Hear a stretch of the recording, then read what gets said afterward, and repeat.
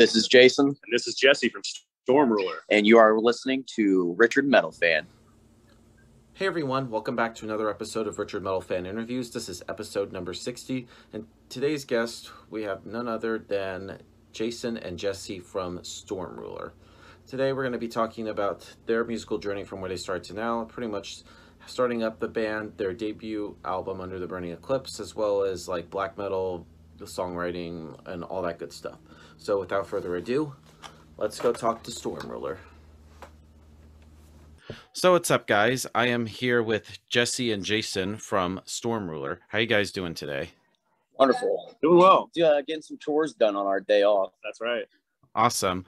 So basically, the, this format is I want to talk about like you guys' musical journey from where you started to now. But before we go into that, let's just dive right back into the very beginning.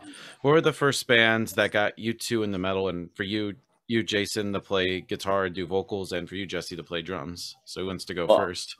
Kind of funny. Uh, Dimmu Borgir for both of us was a big one, but uh, Vortex in particular, we're actually touring with Borknagar right now, so Hell yeah! kind of cool. Yeah, I actually interviewed Simon a couple months ago. Very nice. Yeah, yeah.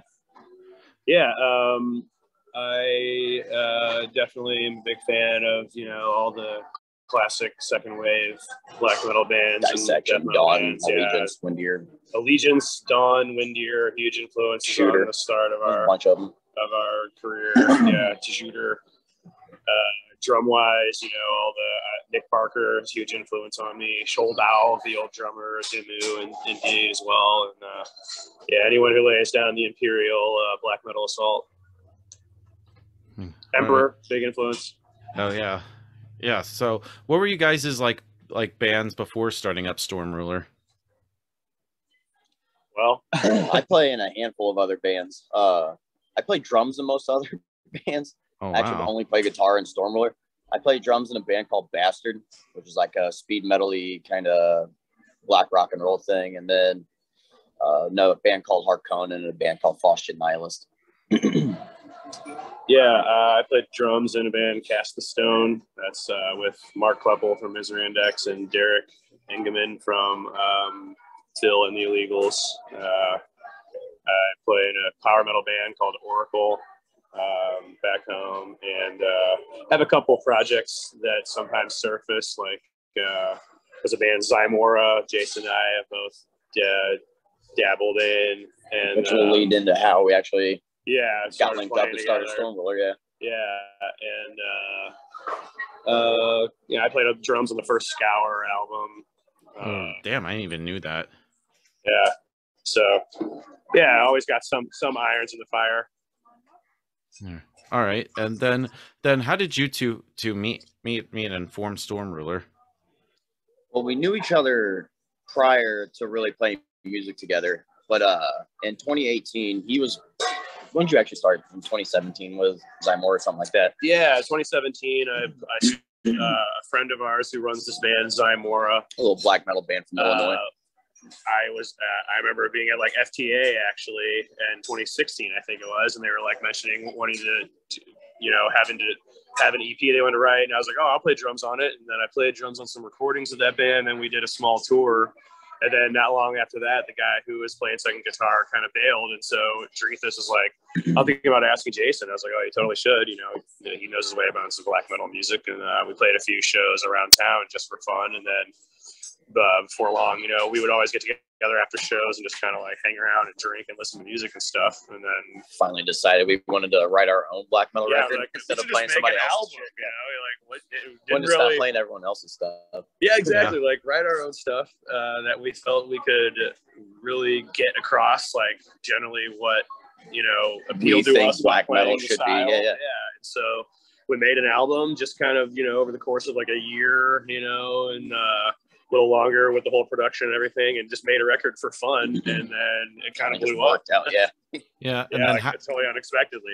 yeah, and how did Yeah, we didn't plan any of this. Yeah, we didn't have a Oh, yeah. band. We didn't have a picture. We weren't, we, you know, it wasn't like a thing that you know, we practiced every week in the jam Yeah, room. we didn't and, even have know, a band name until like three months before Yeah. we actually released the fucking. Yeah, so it was a really weird oh way. Oh my God. about it. And the fact that it's the project that has like taken over is strange for us because it's not a band that we've ever been in. you Yeah. know, we're just like, well, like, this is our, this is, I guess we got to do this now. Yeah. So so when you when you made the the debut, was this like before you you got signed to Napalm, and how did Napalm find you guys? So we uh we wrote the record in like 2019, slowly recorded it, and then finally decided we wanted to put it out because we had other material we were working on. And then uh we self-released in like November, I think, but then we decided to uh, put it on Black Metal Promotions on YouTube. And uh, they premiered that shit on December 1st, and then like December 3rd or 4th, Napalm emailed us yeah expressing interest in the record. we got that email that every band wants or phone call or contact where someone's like we are interested in this and we will get behind it and we were like wow really okay cool so that started off like, like a a hurricane Oh of shit, we had to get done. Like we had to become a real band in a matter of like Yeah. a month and a half. yeah like that that kicked off a whole lot of activity and, and um to, and then that was that was it That So was yeah, I mean they got a hold of us on like December third, and then uh after that, it, it was like around the holiday, so everybody was busy. So we could only do like a select few things before Christmas and New Year's, Mhm. and we still had to turn in all of our uh, album stuff by like February first. So yeah we, like so we we could an album so we could be ready for release in May. So we had really just like a month to get band photos done, Make a uh, video. get a, yeah, music video, get like Yeah. layouts for artworks and shirts and shit done, and all kinds we of had to go things. hard at it for a while lots of homework Yeah, Yeah. lots of stuff got crammed in. Yeah, and you, you guys really hit the ground running with under the the burning eclipse. Like, what was that whole whole like making of the album like? Like- Us getting really stoned down in his basement. it was really pretty low key like uh we recorded Oh, the wow. drums, uh, the Hey, we drums in recorded the whole thing ourselves, pretty much, minus uh, guitars. the bass in my basement, and the vocals in my basement. And then our friend Drethus from, From Zymora Zymora. Yeah, yeah. recorded the guitars at his place. It seemed like a guitar rig of you know recording quality. And uh, and uh, my friend Derek from uh, Phil Phil's band, like I too, if I play with the Cast of Stone, uh, he came in because he was actually going to be coming in town around that time, and he came in and played bass on it for us in two like So like eight to ten hour sessions. sessions. You know, he had we sent him like a song or something, but he didn't really. He, he basically like learned his learned we the riffs we and then we wrote bass lines came up on with spot. ideas on the spot, and like you know, two huge, massive bass guitar recording sessions uh, ended up resulting in a really good bass vibe on the record. That you know, I still hear like certain parts. I'm like, oh yeah, oh Oh wow! and uh, yeah, so I, we basically just recorded it all on our own, uh, and then had it mixed by Gabe. Yeah, Gabe. Uh, so we Gabe kind of like Ritchie. finalized. Drethus did like the mix, but then when we realized we needed like a vinyl mix or whatever, we sent it to our friend Gabe back home, and uh, yeah, and so that's it was basically just us. Uh, there was no rush. It was just us messing around, um, you know, recording it on our own in my basement. All right. So was there like any preconceived idea idea making this album? Was there a lot of like improvisation and trial and error? I mean, we kind of like had an idea of the sound we wanted to go for because like we're really big into Dawn, like Windir, Allegiance, and stuff like that. And we think you know it's proper black metal. It's Yeah. kind of the direction we wanted to go. So we aimed for it, and I guess did it. yeah, I mean, we demoed the songs or whatever, and then when the time came to actually record it, you know, there's always a little, oh, maybe this beat here, or maybe do this part twice, or whatever. There's some curating, but yeah, yeah, uh, a little polishing up here and there. generally, yeah, we the songs didn't deviate, you know, deviated a little bit from their original forms, but yeah, we basically knew we wanted to sound like you know, black metal warfare assault, you know. Uh, Alright. Lyrically, I think we had the idea of Yeah, I mean, we had all the stuff done. I think before we started writing lyrics, and then uh, like, well, we need something to sing about. yeah, like, we're not gonna sing about Satan and Yeah, like, you know. evil, whatever. So uh, we Like, got it, we let's- both love the Dark Souls game so much, and we were like, man, these this stuff is ripe for lyrical content, you know, and uh, so that was something that we kind of settled on for like a handful of the songs, but we kind of knew we didn't want to like go all in on that, you know, because that would that would only limit us. yeah, we don't want to be a themed Yeah. band. I mean, So you know. so definitely there will always be some FromSoft inspired lyrics though, because there's just like a bevy of material it's to draw from there. from. Yeah. So Yes. yeah, Yeah. So there's basically like a sound that you all all wanted, or do you also wanted to try to like experiment a little bit?